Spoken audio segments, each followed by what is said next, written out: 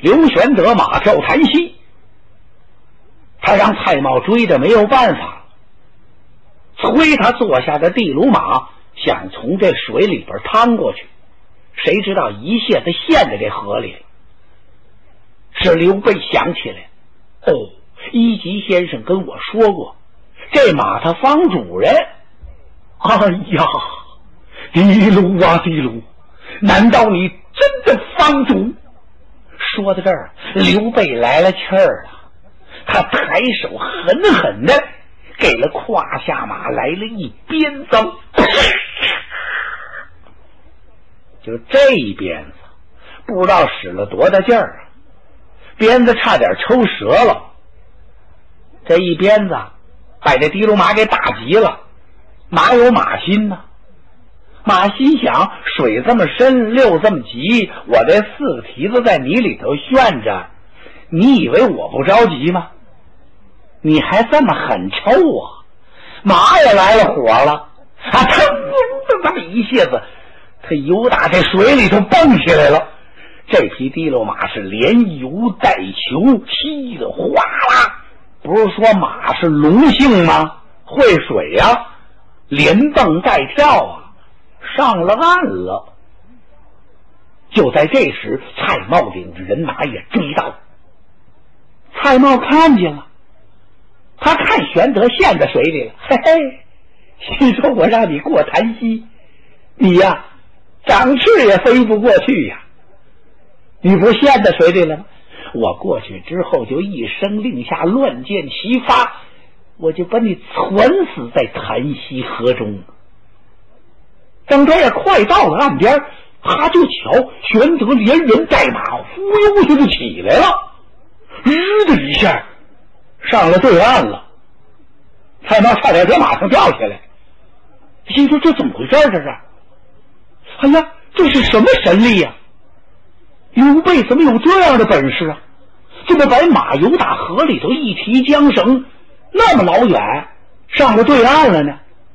不行，我得把他稳住。哎呀，师君，您看看，我家主公刘表啊，请您到襄阳来主持这次庆丰收的盛会。可您怎么刚喝了两杯酒逃席了呢？现在众文武以及两位公子都在等着您呢，您快跟我回去吧。玄德一听，蔡瑁将军。我跟你远无冤，近无仇啊！你为什么三番五次加害于我呢？蔡瑁心说：加害你不把你致死，我荆襄不稳呐！蔡瑁估摸了一下，嗯，看这距离，我这一箭射过去，我就能把他射死，不死我也让他重伤。他脸上还笑着，嘴里跟玄德说着话，他那手悄悄的就奔弓箭去了。哈哈，使君呐，您说的这是哪里话呀？您与我家主公好似亲手足一般，我怎么能够陷害您呢？说着，他把这弓就摘下来了。玄德看见了，哈哈，好啊，蔡瑁，原来你是个口蜜腹剑之人。你嘴里跟我说的好听，你那手干什么呢？玄德这话没说完，一拍地龙马，跑了。蔡瑁一看不行了，这箭够不着他了，他当即传令给我下水。哎，那追字还没说出来呢，有人告诉他：“蔡将军，您快看，后边来了好多人马啊！”蔡瑁赶忙收起弓箭，勒住马头，回头一看，可了不得了，赵云来了。赵云不是让文聘、王威请去喝酒去了吗？您想，他这酒能喝得踏实吗？他不放心玄德呀。喝了那么两三杯，他就想到大厅去看看。刚要出去，赵云的随身小校进来。禀将军，蔡瑁带人马走了。啊！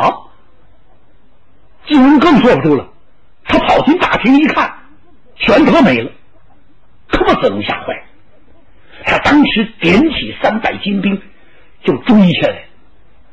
蔡瑁往哪走，他往哪追，一直追出西门。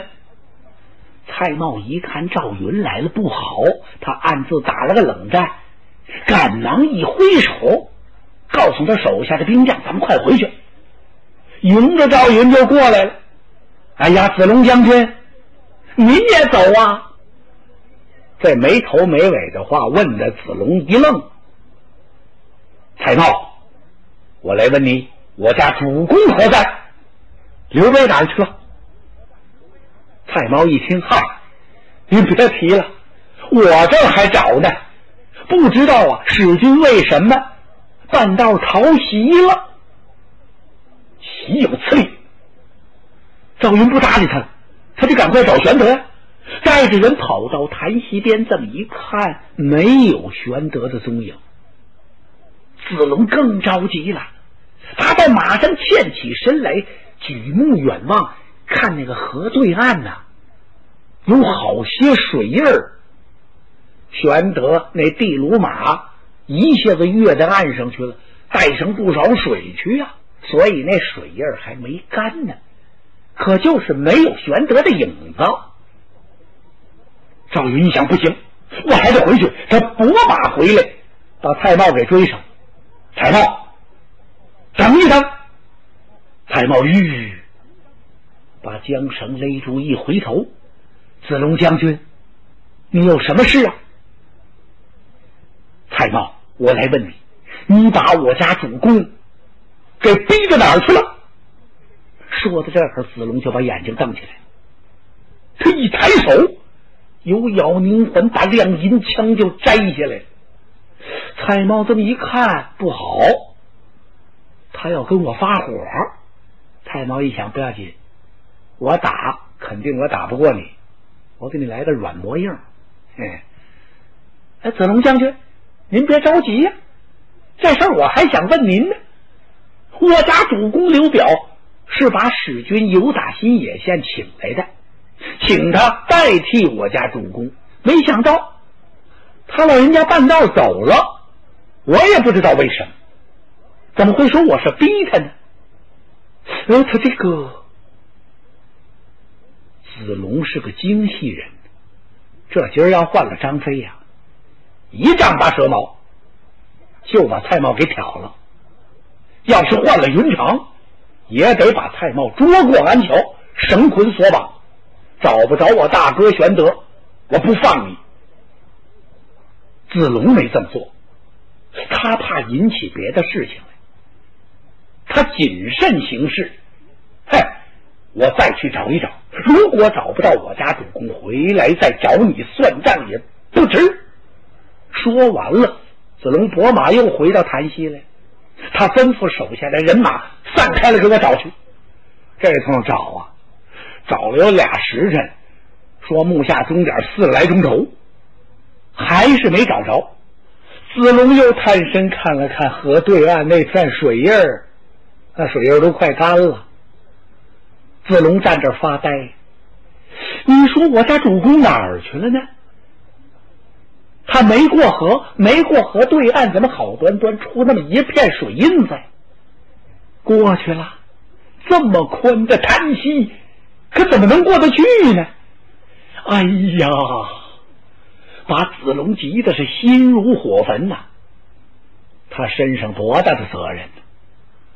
开始的时候，人孙权呐，连三将军张飞呀，都不让玄德来，是子龙自己提的。我带几百人保着主公，万无一失。现在可好，生不见人，死不见尸了。你说他不急呀？不行，还得回襄阳。子龙带着人马。又翻回襄阳来，到这再找蔡瑁没影了。蔡瑁已经进城了。吁！子龙把马勒住，他心想：我进不进襄阳？我进了襄阳，中了人家埋伏怎么办呢？哎呀！哎，子龙转念这么一想，说不定我家主公玄德也许回了新野了。对，我回新野县看看去。好在襄阳离新野是咫尺之遥，也不算太远。想到这儿，他一拨马，带着人赶回新野县找刘备去了。哪儿找去？玄德呀，连他自己都不知道走出多远来了。地龙马跑了一阵子，只跑的是通身是汗。吁！玄德把马勒住了，他用手抚摸一下这马的鬃毛。嘿嘿，你太累了，咱们歇一歇吧。现在是日已平息了。玄德翻身下马，牵着这马溜了几圈，然后往道旁的树绳这么一拴，自己找了一块青石往这一坐。看了看地卢马，哎，此马并不方主啊！你不方主人，要当主人，今儿我就完了。是多亏此马，我才逃得性命。玄德看了看地卢马，又打量了打量自己，您瞧这份惨相，那袍子还没干呢。两靴筒里竟是水，嗨！一看自己这样，玄德鼻子一酸，眼泪差点掉下来。怎么回事？难免就使他想起了自己的身世。我呀，是志大命乖。当初一日，我跟我两个兄弟关羽、张飞说的清楚。大丈夫生于世上，应上报国家，下安黎庶。现在您看我这惨样，自从出世以来，出任安喜县尉，后来让那朱幽逼得没办法，投了代州的刘辉。多亏好友公孙瓒带着我随十八路诸侯去讨董卓，后来。才弄了一个平原令，孔融借兵让我去解围，陶公祖三让徐州，我才找了一个安身立命之地。没想到又让吕布把我给挤兑走了。后来我投了吕布，又投袁绍，又投曹操，好不容易呀，从曹操这张虎口里逃出来。要不是自己用个韬晦之计。怎么能离得了许都啊？现在我又来投荆州刘表啊！实指望这是我们汉室宗亲，怎么也有个照应？刘表兄长待我不薄啊！没想到他身边有这么个蔡瑁，总想杀了我。刘表这才把我安排在这新野小县。今儿个在襄阳一会，潭溪河畔又差点丧了生。多亏这匹地卢马呀，马也好像很同情玄德的身世，啦啦啦啦啦啦啦啦，他打了个换，不打换还好，这一打换，玄德的眼泪掉下来，怎么回事？他想起曹操来。看看人家曹孟德，挟天子令诸侯统一北方，打灭了群雄啊！吕布叫他给杀了，张绣叫他给收过去，所有的人都让他给灭了，就连袁氏兄弟那么大的势力，也没逃脱得了曹操之手。如今人家那势力多大？再看看江东的孙权。继父兄之业，统六郡八十一州，手下是兵精粮足，文奇武备。再看看自己，嗨，怎么跟人家相比呀？我还有何面目活在世上？想到这儿，不由自己用手一弹胡须，天哪！仰面叫了一声天。就在这时候，从远处啊传来了一阵悠扬的笛声。嗯，吹的怎么这么悦耳，这么好听？一下子就能把人心头上的愁云给吹散。就这一阵笛声啊，玄德不哭了，他不由自主的站起来看了看这环境。哎呦，玄德刚才坐在这会儿，光是想些愁苦了，他也忘了看看这是个什么地方。当他站起来仔细这么一打量，哎呦，这环境可太好了，周围是青山叠翠，松柏成行。远处山庄，炊烟袅袅。哎呀呀！这今儿个练兵，明儿个打仗，过惯了戎马生涯的人，偶尔来到这么一个环境，觉得是一派清新。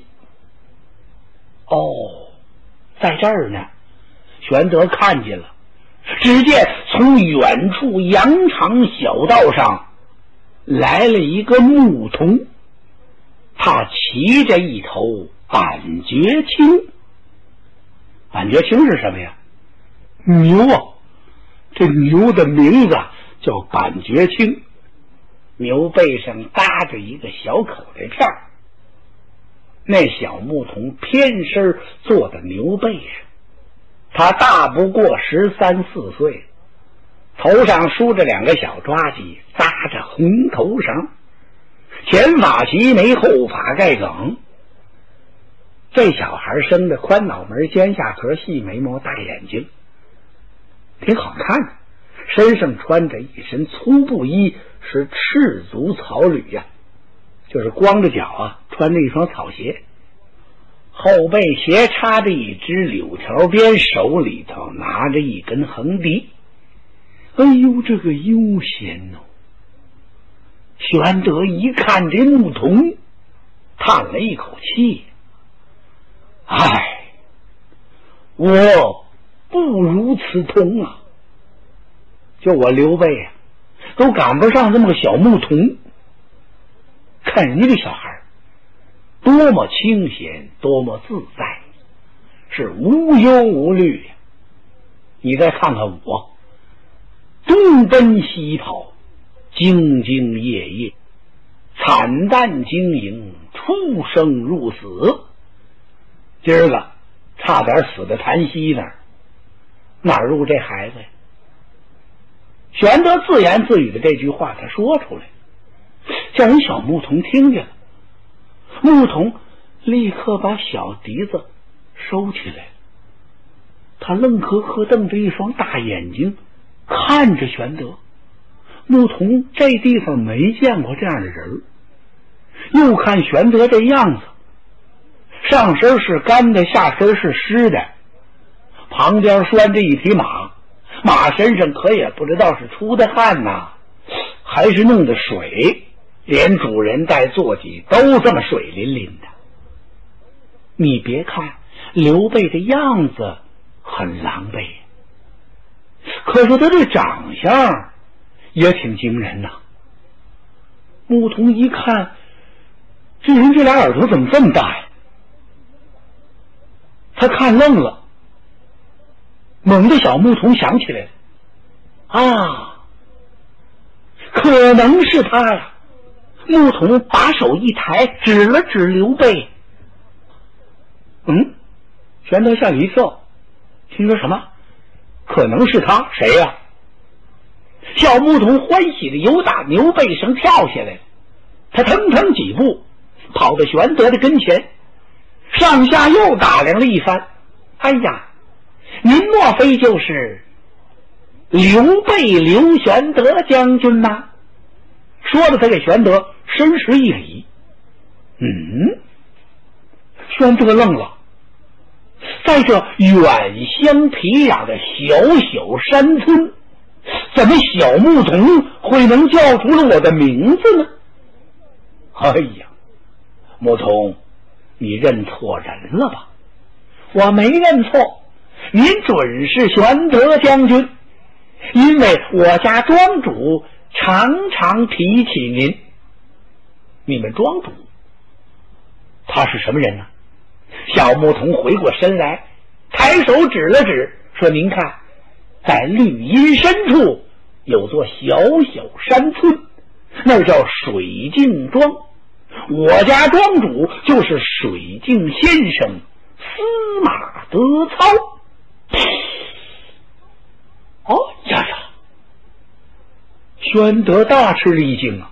我是久闻其名啊，就是那司马徽。小牧童点点头，正是他老人家。司马水镜先生怎么能够常常提到我呢？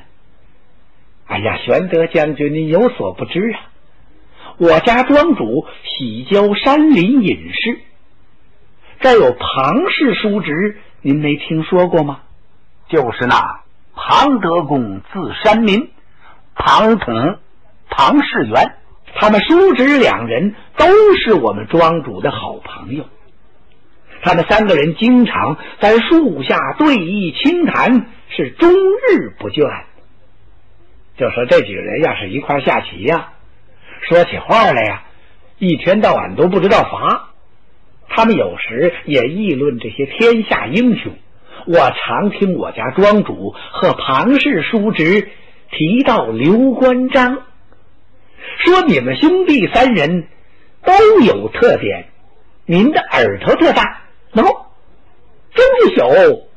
说着，小牧童拍着手，乐得跳起来，说：“您二弟关羽面如重枣，残眉凤目，五柳长髯；您三弟张飞抱头环眼。”我记得可清楚了，所以我一见您就把您给认出来了。啊，牧童，你真聪明啊！哎，你能不能领着我到水镜庄上拜一拜庄主司马先生？能啊！我家庄主也早想要见见您的。玄德将军，您随我来吧。多谢你引路。玄德回首把地卢马解下来了，跟着小牧童进了水镜庄。刚一进庄门呢，就听屋子里边有人弹琴。小牧童告诉玄德将军：“我家庄主正在弹琴，您听他弹的好吗？”“好啊，非常好听。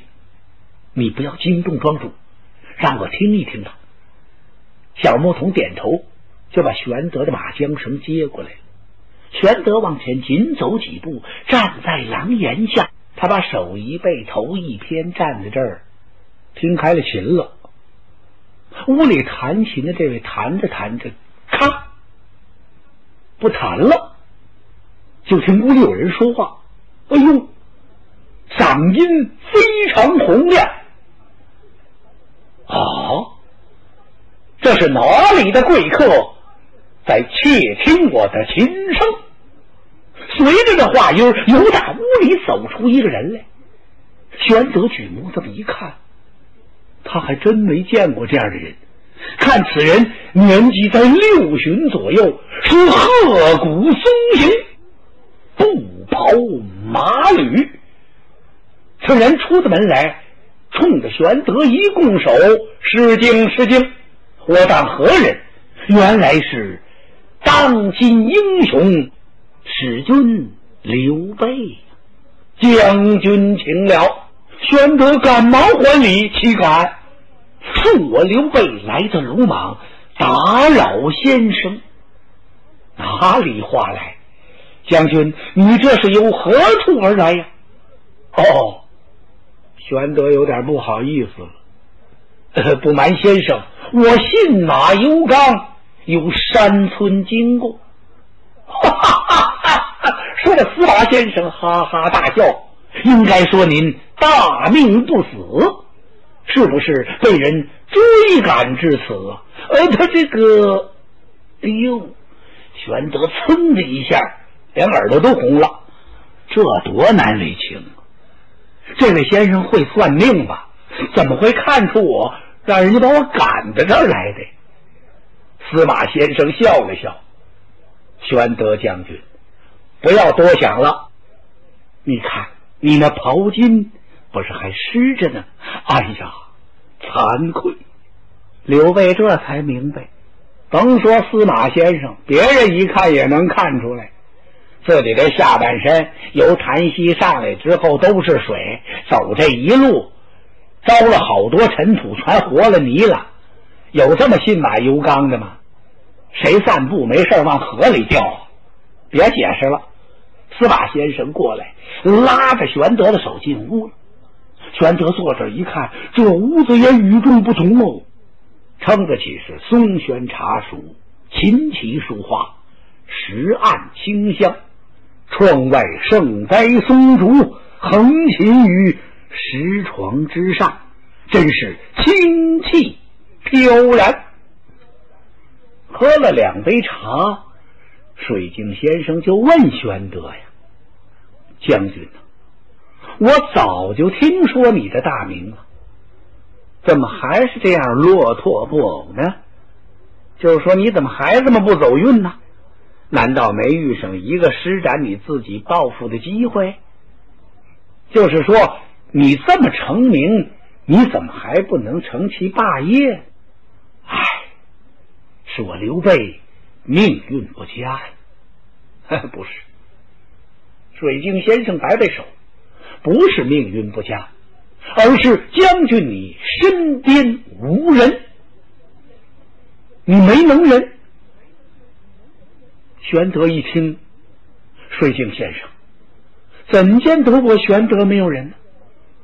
我闻有孙乾、简雍、糜竺，武有关张、子龙等人，他们都是才智过人，勇冠三军。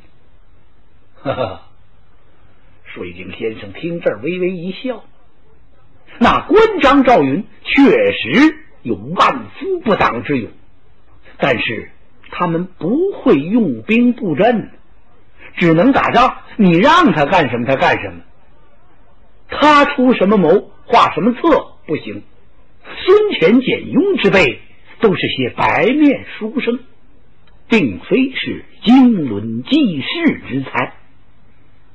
水镜先生，我曾求贤于山谷之中，可以说遍访贤明，但至今未遇呀。